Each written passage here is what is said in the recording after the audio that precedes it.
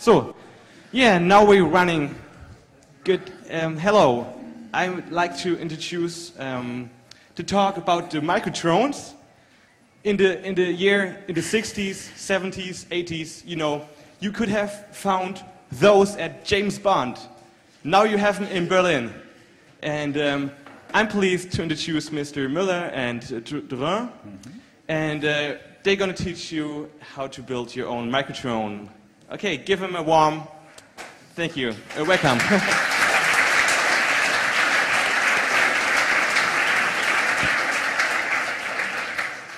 Thanks. So um, you, this is how the presentation will go. And you probably all know those UAVs that you can find in the news. They're quite pricey and they're used by the military mainly. So this one is a couple of million dollars expensive.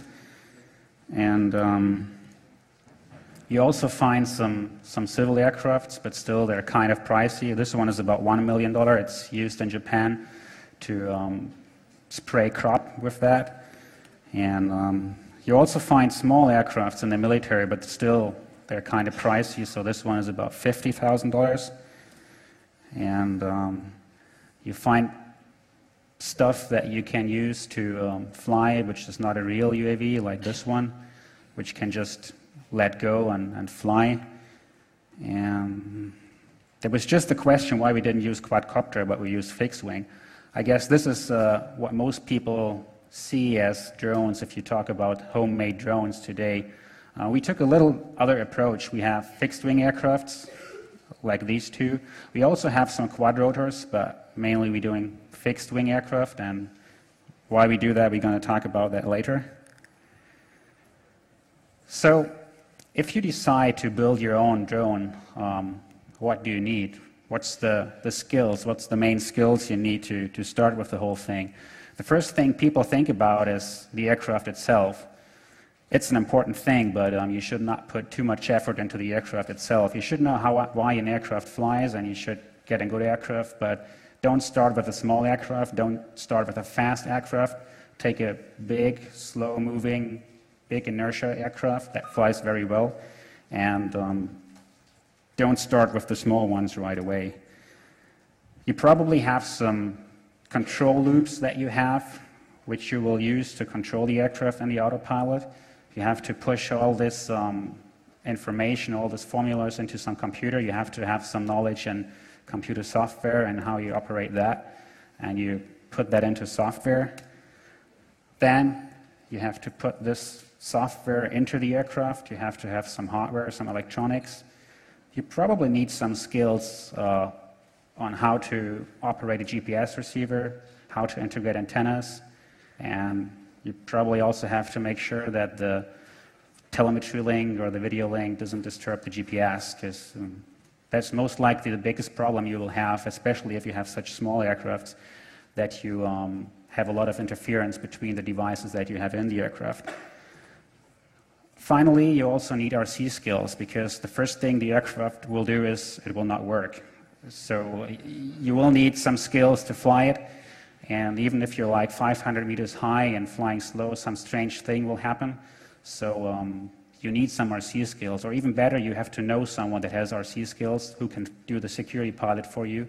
And that's how we do it all the time. We have one person operating the aircraft on the ground, and we have one security pilot just responsible for the security, and all he will do is look at the aircraft, and he, if he doesn't like it, he will just switch over to manual and control it.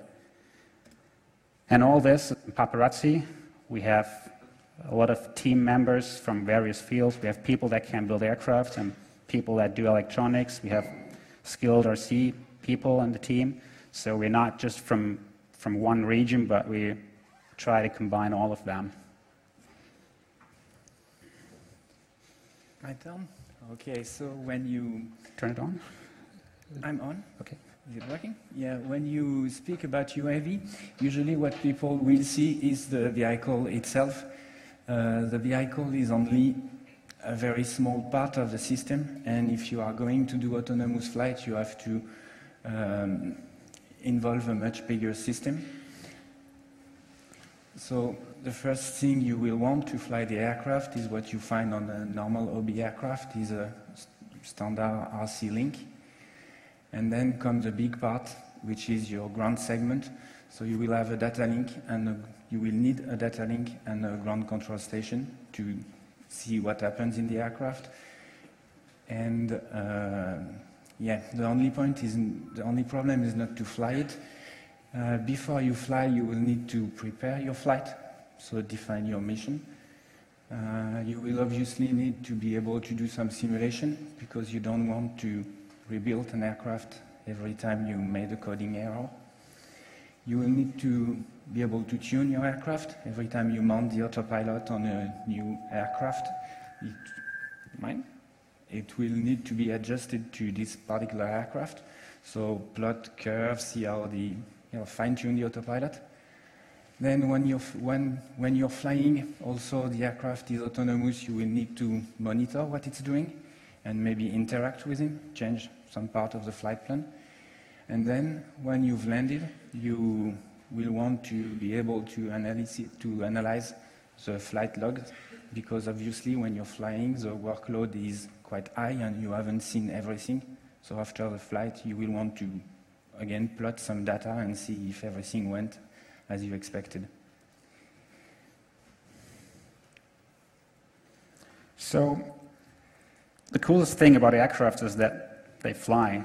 So we wanted to show you an aircraft in the air, but it's kind of difficult to fly in an urban area like uh, here in Berlin, and we couldn't find a place very close, so that would be kind of impossible. So what we thought about is uh, we set up three locations where we have teams right now sitting there in the cold, waiting to start the aircraft. And what we try to do is we want to control the aircrafts flying fully autonomously in Hildesheim and Toulouse from here. So once they are launched, they're flying on their own. We have an aircraft about the size of the bigger red one and another one slightly bigger. And um, this is something very complicated, even if it doesn't look like, but it took us quite long to set this up. We just set this up for this event. We have never done it before. And um, so we're going to try to demonstrate that. Yeah, so uh, before we go with the demonstration, we are going to just give a brief overview of uh, what you are going to see. Uh, then we'll have the flight demonstration, and then we'll come back uh, a little more in depth on what you see. So what you will see is um, aircraft flying in, in Hildesheim and in Toulouse, uh, flying their flight plan. So what is a flight plan? Uh, basically, a flight plan will well, for the most simple, define a trajectory. So the most simple flight plan, you would have one or two waypoints defining a line, and the aircraft will fly along that line. Now, uh, if you're doing only lines, your aircraft will not fly very well. So you will want uh, slightly more complicated trajectories, like a circle around a waypoint. Once, uh, once you know how to fly a circle and to fly a line, you'll be able to combine that and fly patterns like this figure of eight. So while our aircraft will fly, we will switch them to that kind of patterns. And uh, with all these uh, basic patterns, you can build a more complex trajectory, uh, like this uh, landing trajectory, where the aircraft will join a specific area, lose altitude, and then fly along uh, what we call a glide and land on the runway. Um, so th these are statically defined uh, trajectory, but in a flight plan, uh, this is uh, like a program. You are also, well, in Paparazzi, you are also able to write a flight, pl flight plan like you write a program and define uh, complex behavior like the one we have here. In this uh, trajectory. The aircraft is a, was fitted with a chemical sensor and is looking for uh, what we call plumes uh, and trying to find the source. So it is starting here. When it finds a plume, uh, it's flying in a cone, making it larger and larger. When you find another plume, it's doing again. And so this kind of behavior is uh, inspired by uh, biological behavior. This is the way insects do. Um, And so this is an example of, a, of a complex flight plan. We'll see after that how you can define it. Right. So um, this is the ground station that we use. Uh, we just go barely over it. You'll see some map on the top. This is from Google Maps. And you see some waypoints, and you see two aircrafts, and you see two carrots, and the aircrafts try to follow the carrot. And uh, you have a primary flight display where you can see how the aircraft is flying, how it's operating in the air. You have some messages like kill mode. If you switch off the engine, if something strange happens, you probably turn off the engine. And um, then we have two strips over here we're going to talk about later where you directly um, can go to special flight plan points and use them. The aircraft. Yeah. You have like the voltage and the speed and the throttle and every information you need. And what you see in this sheet is that you have two aircraft at the same time. Um, that's what we're going to try now. We're not going to switch to Istanbul. We couldn't get a security pilot there. And security is always the most, the biggest concern and whenever we fly. And so we decided not to switch to, to Istanbul. So we're going to have, hopefully, two aircrafts. The mission, or the application in this case, is simply video. So we have a very small video camera, that's the small thing on the bottom, and a very small video transmitter, which you see on the top. And we're going to transmit video from the aircrafts and try to visualize the, the video, the live video from the aircraft here on the screen. Um, yeah, so I guess we've done, uh, we are done with a small uh, introductory presentation. And so now we will attempt to fly the aircraft. So we will now. Uh, so this is uh, the same ground station that we showed you before. Uh, this is the yeah. purple aircraft. This is the aircraft that is in France, and the yellow one is the aircraft that is uh, in in design. So you see that the aircraft are in manual for now. Okay. And now we will contact the pilot and let them know that they can switch it to autonomous. So on the map, you see here, this is the map in Toulouse. You see the, the aircraft here next to the pointer. And it will take off and hopefully go to fly a circle around the standby waypoint. So, uh, as you want. I see if they are ready. Uh,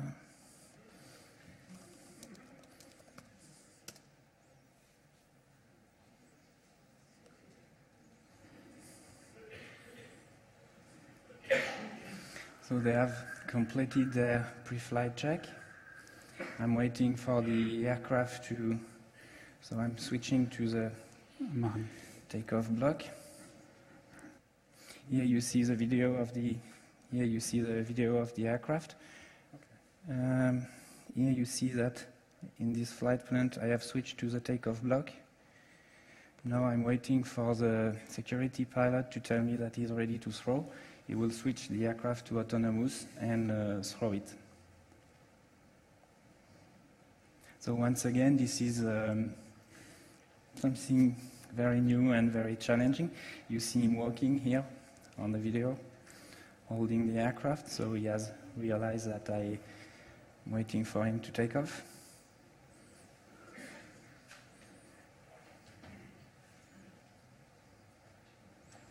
So the pink one is in Toulouse and the yellow one is in Hildesheim.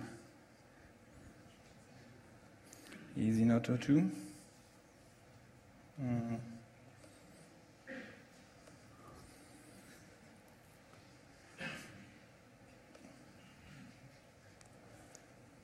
And we are gone. Uh, hopefully. Um, hopefully we are gone. yeah, I see that it should give throttle. Uh,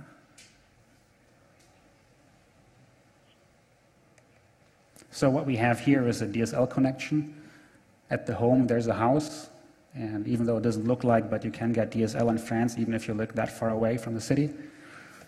And we have a DSL connection, so we have like 128 kilobits uplink where we send the telemetry and the video. And in Hildesheim, we have a UMTS phone on the ground, which gives a little less transfer rate. So the picture from there will be worse. And um, we have a complete system there. So there's a security pilot and there's a laptop, and everything is set up so they can control the aircraft from here.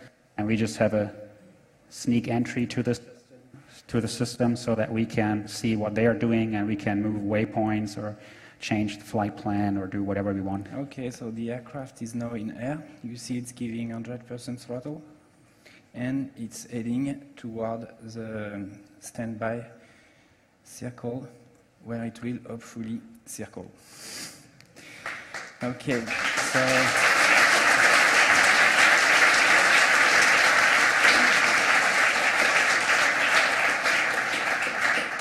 Now what can we do? Do we want to start the second aircraft now or Yeah. play with this one a little while they get ready? Yeah, maybe you play with this one a little. Okay, so you see that it's circling around this waypoint called standby. I will move the waypoint a little.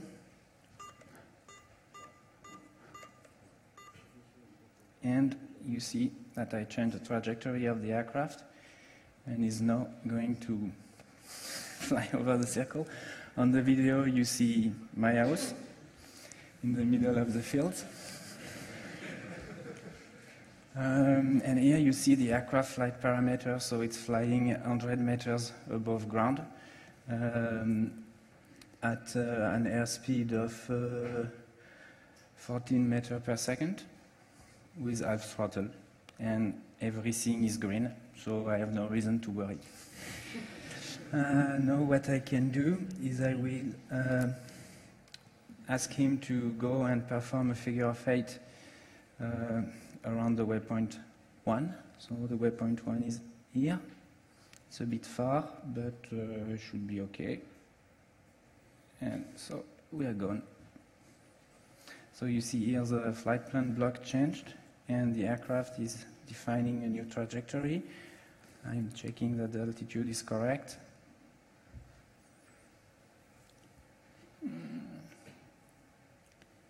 Yeah, it's flying. We're losing some of the messages. This is uh, not so common to do that through the network. So Yeah. now I can leave it here. You see the video that is transmitted by the aircraft.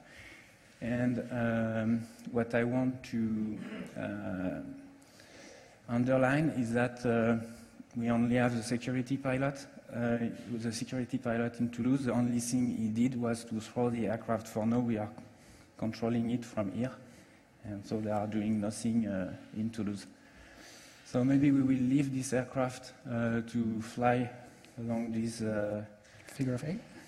Along this figure of eight. It, this aircraft has an endurance of 30 minutes, so this is perfect for uh, this demonstration. And we will start the second aircraft in uh, Hildesheim. Uh, so I will just quickly tell the security pilot that everything is okay, and I'm going to uh,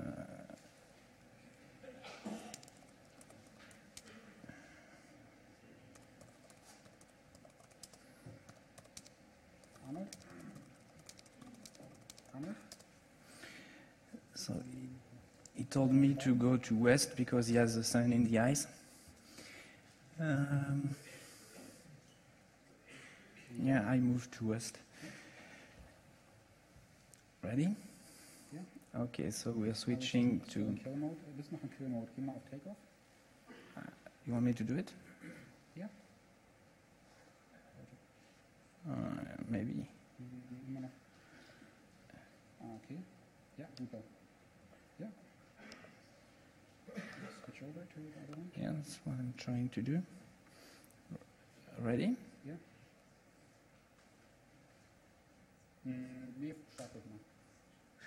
Jo.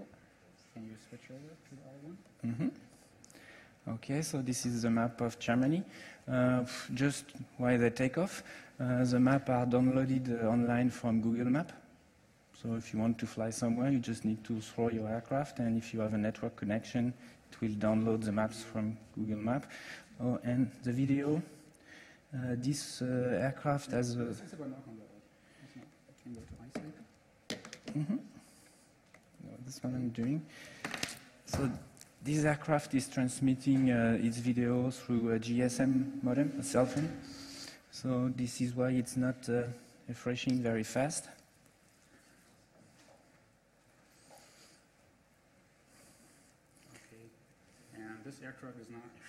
This aircraft is not tuned very well, so you see the circle is not as accurate as the other one. But um, it's flying, and now you also can see that the um, data rate is not as good as for the DSL, so we have a little more hiccups in the flight, but still you can see that it is sort of flying. Um, It's Actually, we have a movable camera in this other aircraft, which you can probably barely see, but you can move this. And uh, unfortunately, we broke this when we tried two hours ago, so we cannot demonstrate that. But um, with this aircraft, you can fly over something and move the camera while you fly over it. So maybe going to demonstrate that next year. So the, the um, problem of uh, link is not very important because, as we said before, the aircraft is autonomous. So if we don't do nothing, it will just fly by itself, and we only need the link to be able to change its flight plan. So I'm reloading the video from the German aircraft, which is on this circle. You want me to? Yeah, and maybe move the circle to stand by a little to the south. Ah, there you can see the airfield. These are the cars, this is the hut. They were able to warm a little bit in the hut. And, um, Yeah. yep. Ah,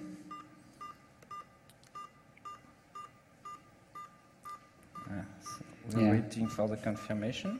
So what you do now, we send the aircraft the message to move the waypoint. And once we get the acknowledge from the aircraft that the waypoint is moved, the annoying beep stops.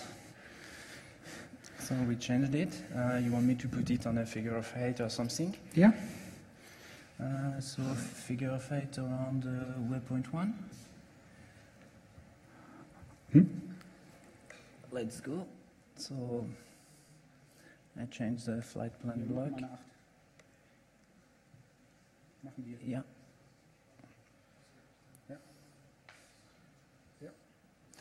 Okay, so this figure of eight, of eight pattern is the one we use when we uh, need to do recognition on a, pat- on a target because this is uh, the, the pattern that allows you to fly over a point uh, with different direction and uh, as often as possible. We'll talk, uh, we'll talk uh, after about why we, why we do that. Um, so what else? We could do plenty of things. You see that we have um, a flight plan with plenty of patterns. Uh, but yeah, I don't know how long we want to fly. Maybe go on with the talk. Hmm? Maybe go on with the talk. Yeah, Okay. because I've seen, I think you've uh, about seen what there is to see. We have an aircraft that fly autonomously. We have video. We are able to act on this flight plan. And yeah, that's about it. So maybe we tell the.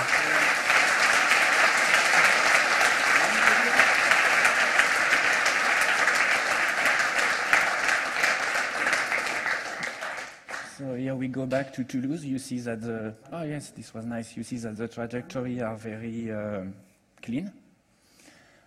Um, uh, just I, I'll make uh, what we call a, a survey. So um, a survey uh, is um, a regular survey. Uh, just make sure that the aircraft took the, the, the command. Yeah. Uh, no, no, everything is fine. Don't worry. okay, so you see the point S1 and S2, and the aircraft will, do, will be performing uh, a survey in the square between those two points.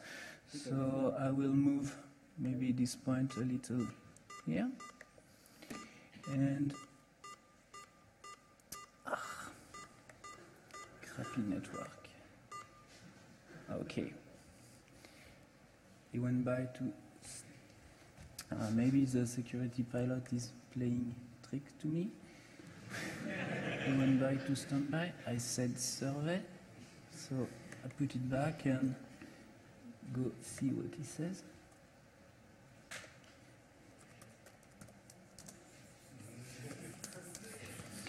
So, for those who don't speak French, he said I put it back on standby because uh, he was flying south and I didn't understand what he was doing.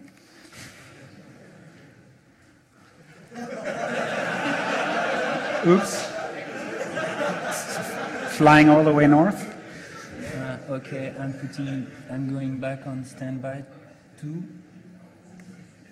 Okay, maybe we won't play with the survey today. and I'm going back to standby, so you see he's turning back. Um,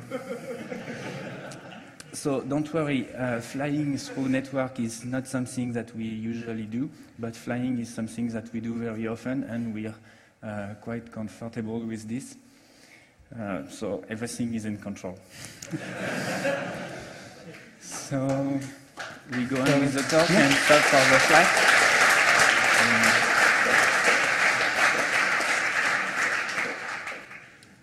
You land? Should I yeah, go I tell him. So maybe I go on.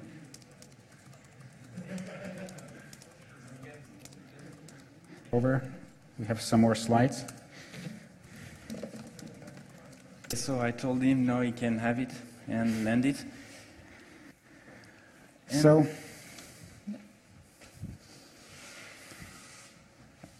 Okay, we'll talk. Um, so now we'll try to explain a little more in details what we what we demonstrated.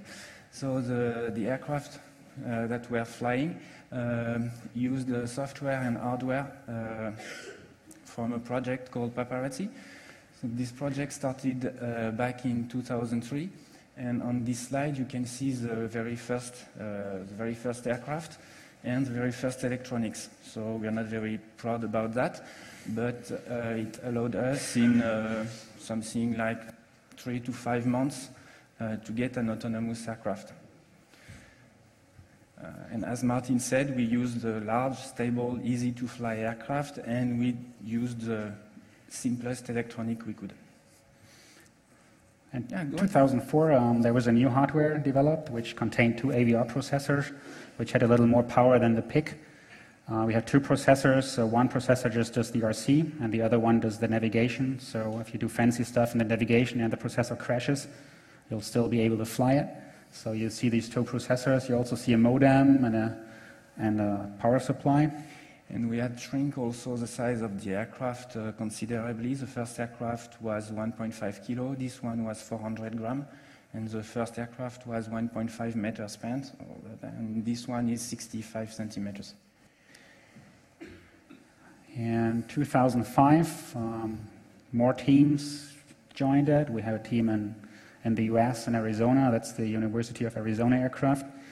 And there's a team from Germany joining. So we had more people working on this, um, uh, taking part in, in competitions. And uh, in 2006, we had this tiny little aircraft, which is now made by a small company. This is the aircraft you see there. So this is 30 centimeter span, and as we'll uh, mention later, the, it's a very big challenge to shrink the size of the aircraft. And we have a new board design. It's an ARM7 based board with 60 megahertz, which is a little terrible because the processor is bored most of the time because just navigating is not doing much. So we had to add some applications to get the processor doing something. We also we also included a, a GPS on the board, so we had no external GPS anymore, but just this very small board with the power supply and the processor and the GPS all in one board. And it's like 24 grams and more than enough power. Yeah, this uh, we, had, we still had shrink the size. This aircraft weighs uh, a little less than 300 grams. Uh, this one is about 240. 240.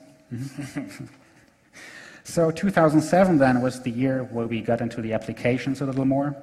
We um, did some tests with firefighters. We tried to detect a fire in southern France, so they started a fire.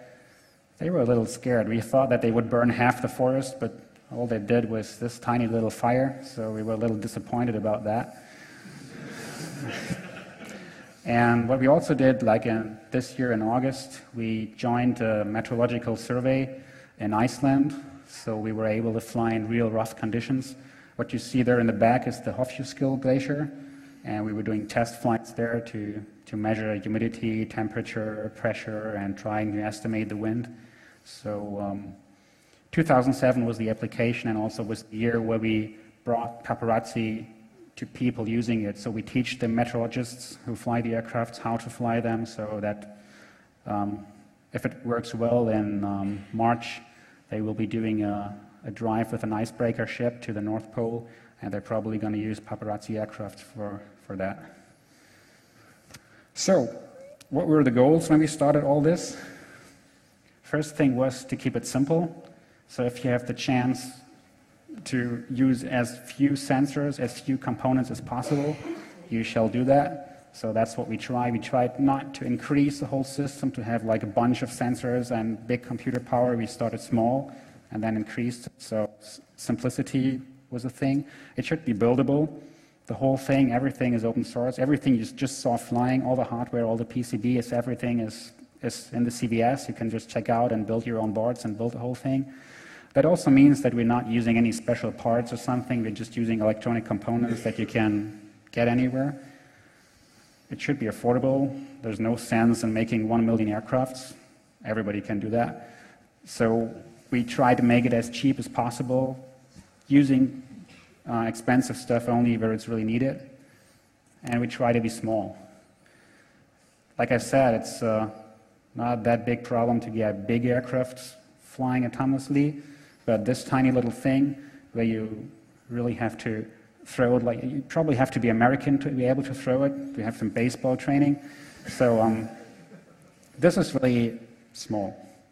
And this comes to, due to the fact that the, the main motor of the whole project was competitions. We took part in a number of competitions to um, have some points at which you get things done like the networking flying we did today, we, we needed a day to get this done, and this were always the competitions. And for the competitions, we had always the 50 centimeter maximum, so that's why the red one is that size, it's exactly 50 centimeters, or it, it fills in a, a 50 centimeter cube. Okay, my turn. I think we have to accelerate or we'll never make it. Yeah. So uh, one of the way to uh, make uh, something affordable is to use a commercial off-the-shelf product as much as possible. So here you see uh, pictures of um, many commercial parts that we use in our UAVs. So as Martin said at the beginning, we don't build the aircraft most of the time by just regular hobby aircraft. Uh, we don't build the computers, we don't build the RC links, the data links, we don't build the propulsion, and you can get uh, very good quality stuff for a very low price uh, in consumer uh, in consumer shops. Um, yeah, those slides are uh, here to demonstrate the difference between uh, normal maybe RC is not a good word, maybe uh, RC aircraft and a UAV. So in a RC aircraft, what you have is an airframe, uh, but this is an um, electric propulsion aircraft. So you have a battery, a radio control receiver, servos, and a motor. And now if you want to turn that into a UAV, what you need to add is uh, what is labeled A, an autopilot, uh, a sensor, what is labeled I, uh, data link, this little uh, purple thing called D, and a payload because uh, you will be flying for a reason. So usually the payload we, that is the most widely used is a camera. And now you have uh, a picture of how it looks in real. So you see it's very simple. In fact, since we have developed this little board, everything is on the board. And so basically you only add this board and this sensor, and you have a UAV. This is the controller board. There are two versions. Um, when people start the project and they are on the IRC or on the mailing list, they always wanted to start with the big board. Um, that's not what it's good for. Um, I would always start with the tiny, which is on top. This is the board which does have everything in one board. We have the GPS antenna. This is the brown white thing. Then you have the ARM7 processor. You have the power supply and some more parts on the other side. Uh, this was the, the first design we had, which only had two processors and nothing else. And in the beginning, we had the, we had the two processors separated, like I said, for RC and for navigation. And this was, this was, was what this board was for. And now with the new software, we hope everything goes right and we put everything into one processor. We have sort of separated spaces for the two processes, but should be safe. Okay, I'm going to talk about uh, infrared attitude measurement. So in uh, most UAVs, uh, they will use an inertial sensor uh, to tell their attitude. Uh, one of the problems with inertial sensor is that they are um, expensive, at least if you want good one. They are very fragile, very difficult to use. You need to calibrate them properly and you don't get a direct reading from a gyrometer. You get only a rate reading, so you have to integrate that to get your attitude. So you need a fancy filter. This is complicated. Uh, we have uh, in paparazzi, what, on fixed wing, we use another way to measure attitude. Attitude, uh, and this is it consists in uh, thermopiles. So basically, they are uh, just thermometers uh, once again, this is consumer uh, electronic stuff. This is used, uh, for example, in, in cars, air conditioning system. And so the, how does that work? you put one thermometer on each wing of the, air, on the aircraft. If the aircraft is level, they will read the same temperature.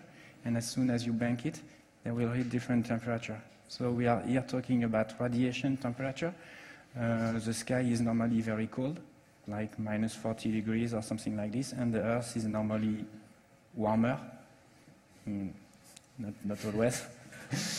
and so uh, you get uh, an estimation, well, you get a measure of a temperature difference that you have to convert, uh, that you can convert into your attitude, but it's a direct reading. So no need to integrate something, no need to calibrate the sensor.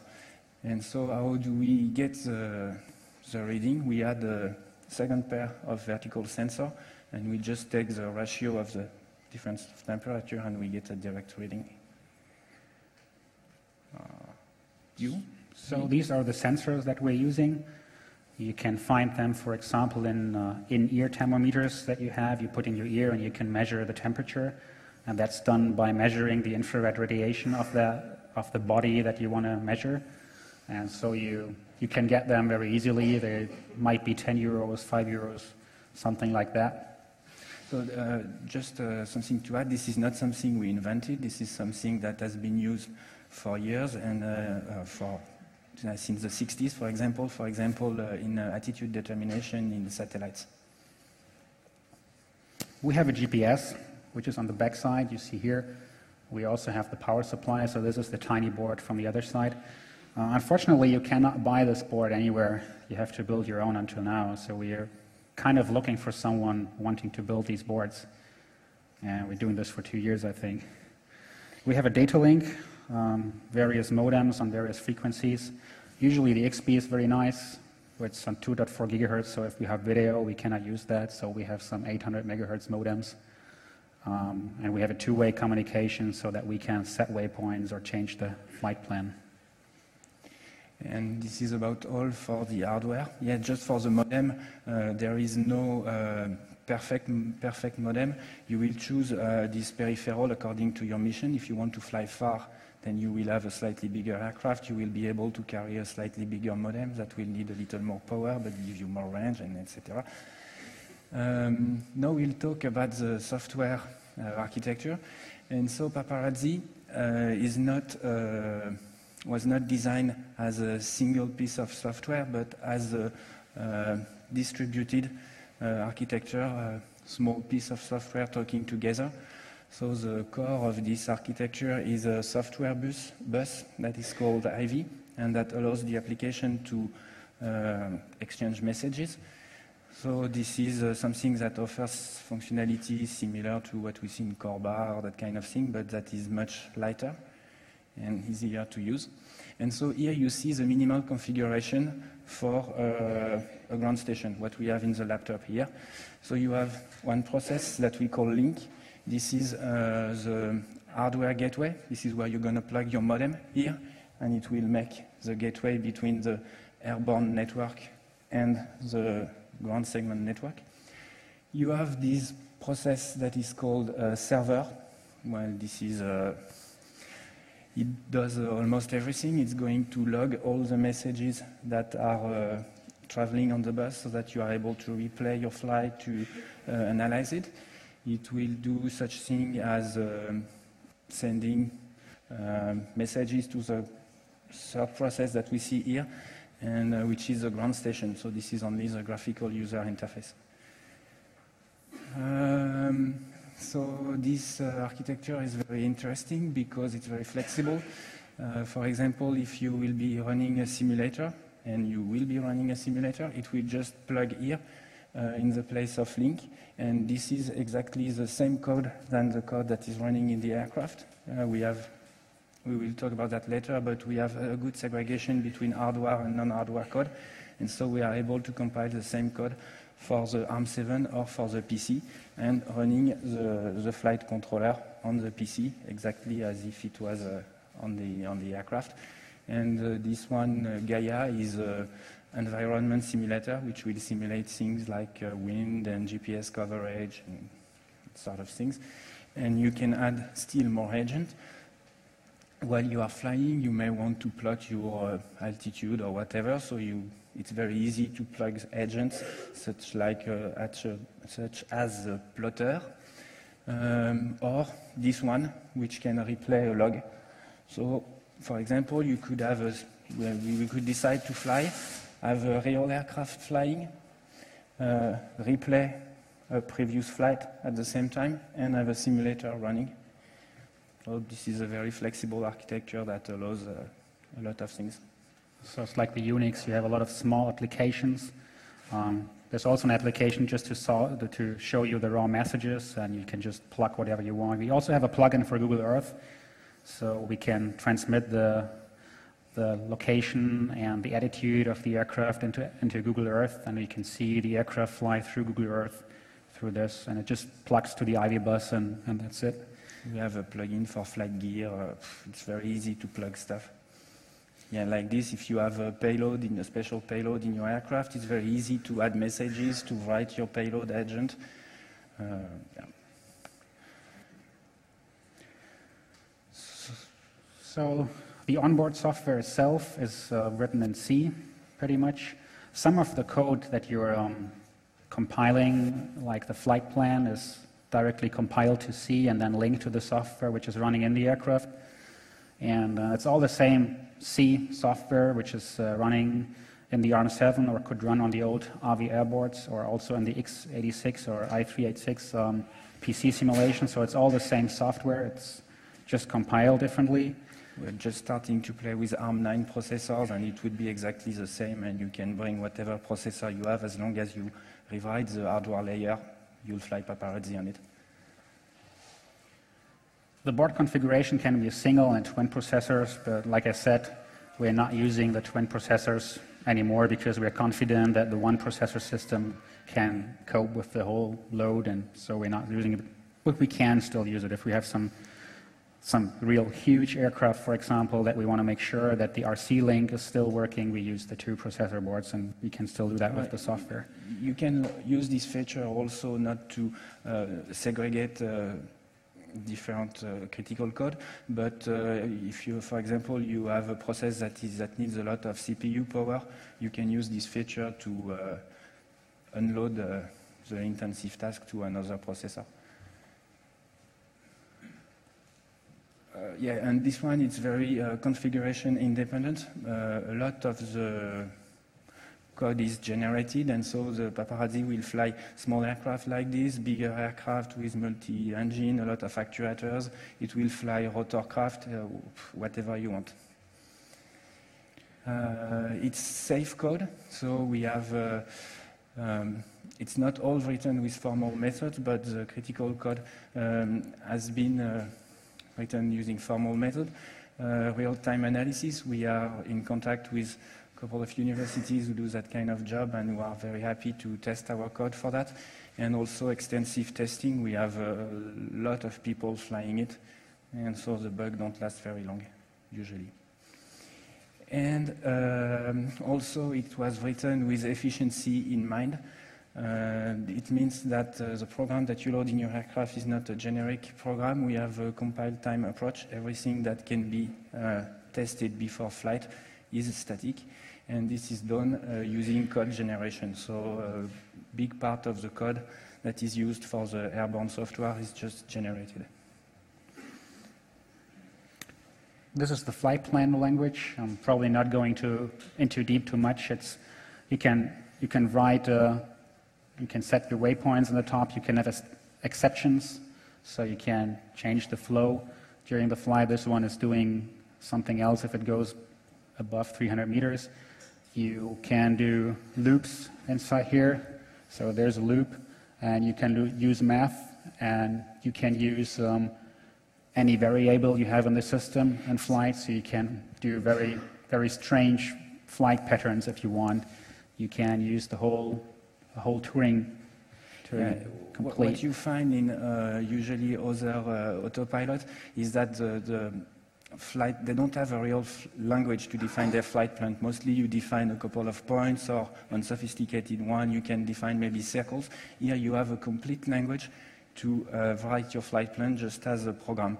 So if you want to write a flight plan that does the complicated thing we showed before uh, to mimic the biologic behavior, you can write that. This is a Turing uh, complete language, and so whatever you can write, you can write it in this language.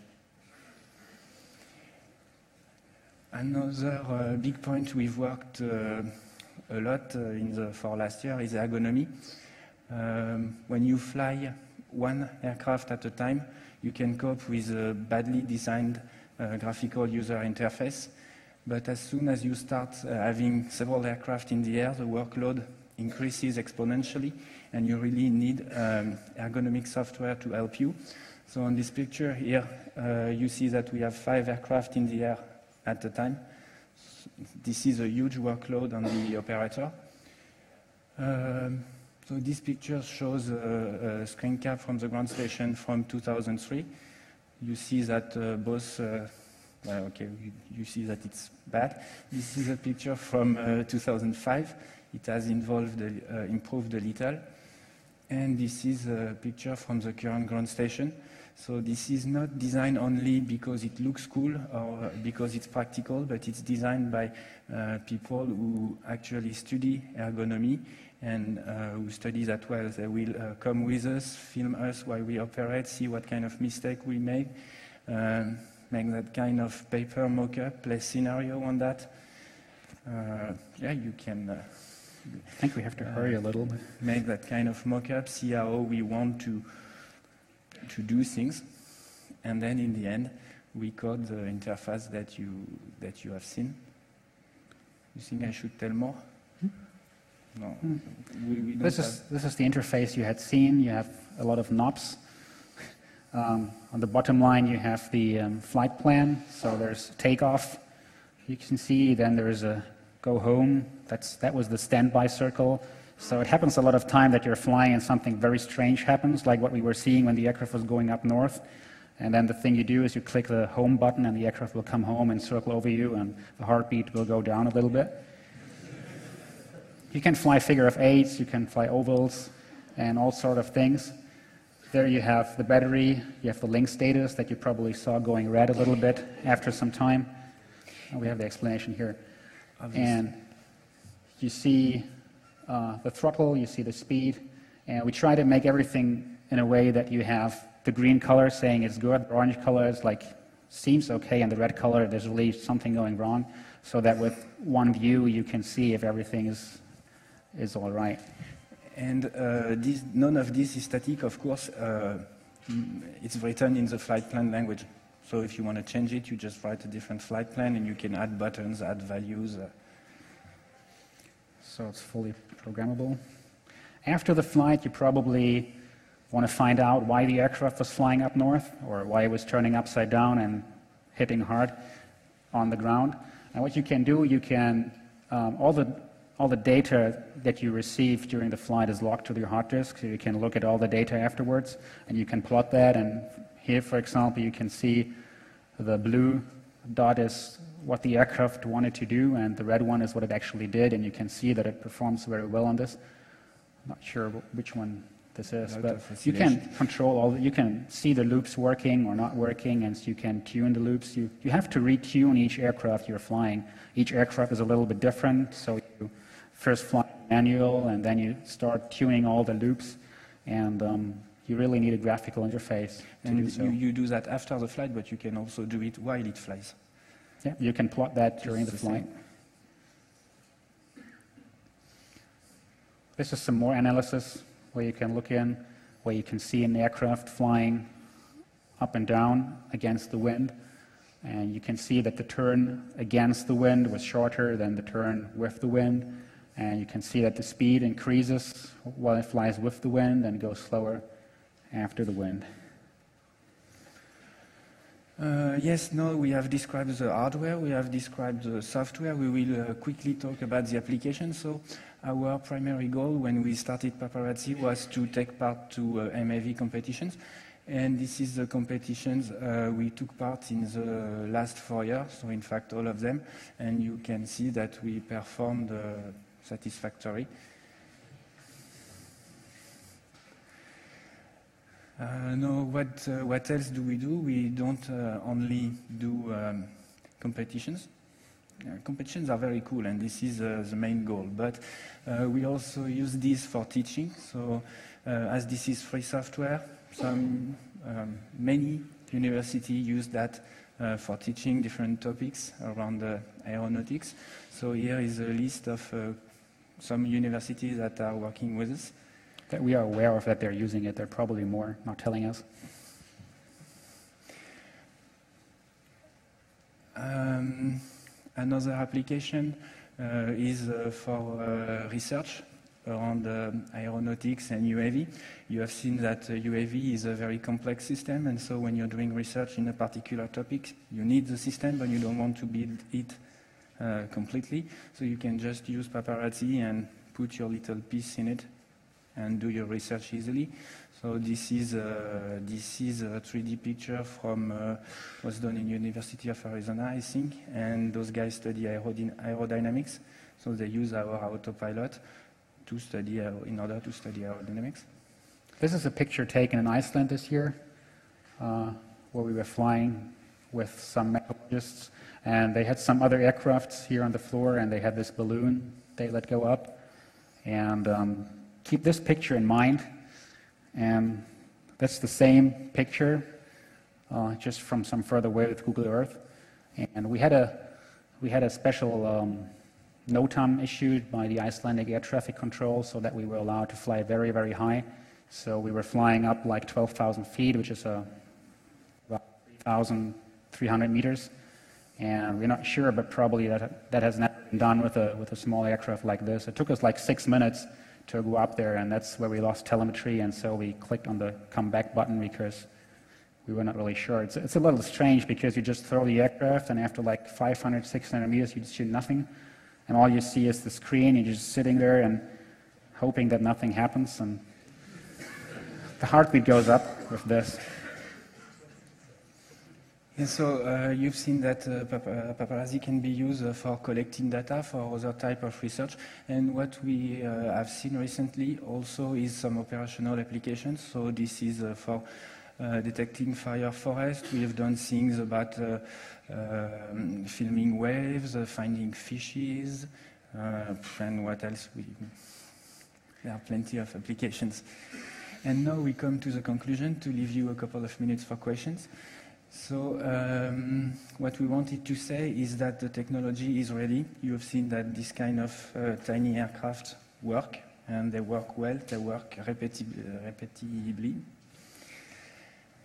Uh, there is a huge field of applications for this kind of vehicles. Uh, every week we see a new person coming and say, hey, I, your aircraft are cool, I want to use it for uh, whatever. A lot of things that are done with real aircraft can be uh, done with small aircraft for a cost that is uh, much less. It has advantage in terms of security also because it's small, it won't hurt people. And this brings us to our uh, third point. The biggest problem we have at the moment is that uh, uh, regulation for allowing us to fly is very behind. It's evolving very slowly. So mostly what we are doing is uh, uh, flying under the radio control regulation, which means that we are not supposed to fly out of sight. Uh, recently, we have seen a case where we were able to fly in segregated airspace. So, for example, this uh, experiment with the fireman, it, was, it took place in a controlled, controlled airspace, very busy airspace near Bordeaux. And after about one year of uh, negotiation, we were able to get an area in this, and we had an air traffic controller on ground with us, talking with the air traffic control, notifying our takeoff, our uh, landing, and everything, and all this for that have a smooth integration in civil traffic to allow uh, real operational uh, use.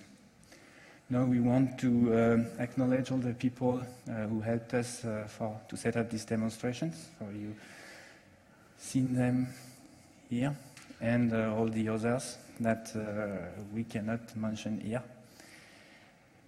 Uh, finally, should you want further information, uh, yeah, I don't know if we said already, but all this work is uh, free software, so free software, free hardware, free everything, GPL. Uh, so this is a place where you can get more information.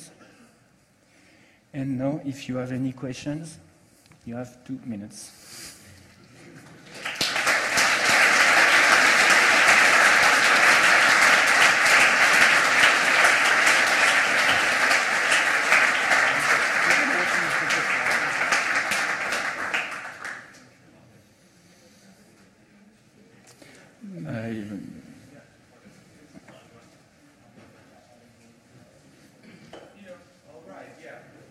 Hello? Yeah, we, we have uh, only five questions because of the time. So, um, sorry. All right. Um, how much uh, does it cost, uh, a very basic setup? It costs time. if you, if you, the parts, if you're buying the parts for this, let's say 500 euros. If you want to, to if you are making several, it will be cheaper. The, the cost is your time. It will take you months, maybe years. Uh, how accurate is the attitude measurement with these infrared sensors? We have no other reference sensor, so we are not able to tell. What we can tell you is that, uh, judging from the result of the competition, where uh, you got a lot of points for the accuracy of the tra trajectory, we are uh, as accurate, if not more than the other teams using inertial. I have another question. Um, uh, on which attitude works is this uh, measurement? So works it with uh, low attitude also uh, with high or? Uh? Yeah, you can. If you do the math for calculating this and you calculate that this will, it will still work at 30 kilometers altitude. So it should, there's, sometimes there's a problem if you're right next to a house or next to a tree very close to a house or a tree. Um, that cause problems, but altitude, you will not, you not see that in any altitude that you can fly with such an aircraft uh, where you still have air. If you calculate the horizon, it will not change that much, even at 30 kilometers altitude, and it will still work. We had no problems uh, at all at three, three kilometers altitude. Um, Thank you. Okay. Uh, what about functional safety? The problem is that normally, if you have such a system, uh, it can cause severe damage. So you have free, have to have three uh, systems that um, test each other, so that if something fails, the, the, reserve system gets in. And so this thing should be quite um, dangerous. For example, you, maybe you, you, fly in an overcrowded area like the Alexanderplatz or somewhere else, or demonstration or something, and, some, and this thing hits a person you get a problem. And so this has to be um, improved in regarding functional safety. Yeah. Uh, We- we- Um, no, sorry. we- so, so we- we security, security is always the most, the most concern. That's why we're not flying on the Alexanderplatz. And you probably saw in the pictures the places that we were flying at were far outside, far away. And we have two data links up to the aircraft. We have simulated everything before. Of course, this is not the same as the 30 million uh, Global Hawk aircraft that the US Army uses, and still they crash. And we, we are talking about 300 grams aircraft, so even if they fall on your head, you should not be injured a lot. And yeah, given the size of the aircraft, we cannot double, double or triple every system. So Okay. we are doing our best. We're using formal methods. We're using analysis. And, But okay, okay, but the hard, hardware problems. Um, so, so, so like so, short thing. What about regulations? If you do the thing quite short, so that is a very small aircraft, so maybe the air traffic controller won't even notice that because every plane is tested against birds flying into the turbines. So if that thing is not more, not not, not heavier than a bird, it should be no problem for an airplane. There's some That's what we're trying to suggest to the people who do the regulation. But for now, they don't really believe us. Okay. And do you think the paparazzi could be a solution to um, citizen surveillance systems that government could put up? This is the last question. Thank you. Um, so, well, anyone can use this, and I guess it's used already. Still, I think it's a very bad idea to fly with a fast rotating carbon fiber aircraft over human crowds. So that's nothing that we do, and I would not suggest to do that. So. And this is not specifically paparazzi who could threaten, uh, the, the, who could pose this problem. This is all kind of UAV. I think paparazzi uh, problem by giving access uh, to this technology to more people than uh, with commercial uh, material. Thank you.